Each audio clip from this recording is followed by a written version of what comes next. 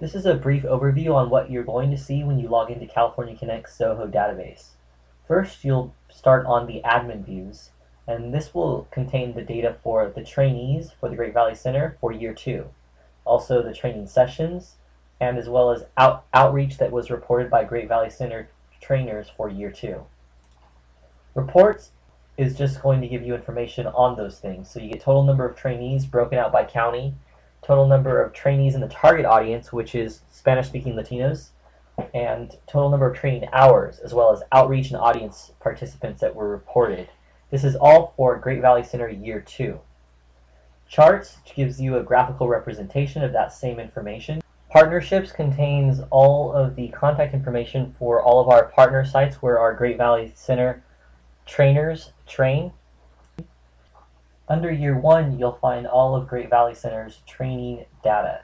This includes training view, which is all of the trainees, outreach view, which is all of the outreach reported by trainer, and training report, which gives a representation of the training count by county, as well as the total hours and total subscribers reported by county.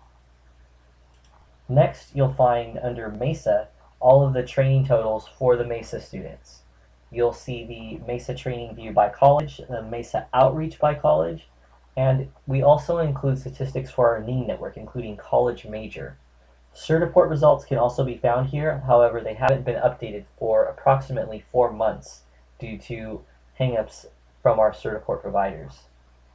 Our NING members are reported via download from the Ning site and then it is imported into the database. And that is done approximately every week to two weeks. So with the exception of Ning data and Certiport results, everything else is imported in real time. The next thing you can take a look at is FCCC outreach, and this is public awareness campaigns that FCCC does via social media Occasionally they'll do a release and it will end up um, on our tracker, but most of the outreach is done by our trainers directly. And finally, BTOP reports.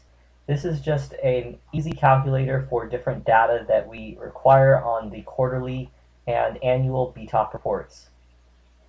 It's important to note that MESA students sometimes do not report for up to six months, so we are behind on our numbers, but we anticipate catching up as soon as we get all the training data from the MESA students in.